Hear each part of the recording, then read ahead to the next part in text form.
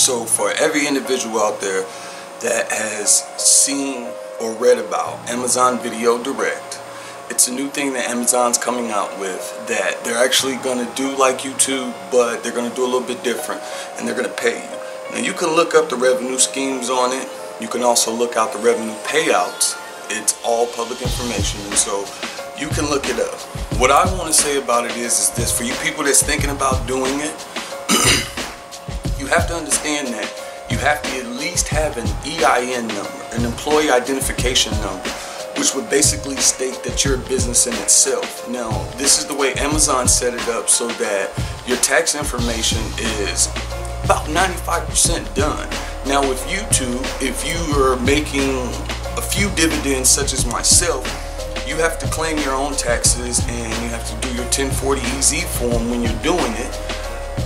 You have to make sure that your money's right because YouTube pays you quarterly. They send you the checks, but you have to claim the taxes out of that yourself and you have to pay that or guess what? Uncle Sam will be knocking on your door. So Amazon has set it up a different way with the Amazon Video Direct. Now all you have to do is, is you log on, you create yourself an account, you put your EIN number in, you do your tax information, and then you can start uh, you can start uploading your videos. Excuse me for that. When you do start to upload your videos for Amazon Video Direct, make sure you set your videos up to be able to be rented and so that Amazon will pay you for each showing. Now, they'll pay you for showing it, they'll pay you for selling it, they'll also pay you to put ads on it. This is a great way to get in. If you are, such as myself, coming out with new videos, have new concepts, or if you're doing commercial funny, or if you're just doing comedy, or if you're doing real life reporting. If you want to do these things, get on it fast. Be the trendsetter, don't be the trend follower You will see me up on Amazon. You're soon to see me on Vimeo. And now you're seeing me on YouTube. Now I have a few DVDs that's out there too.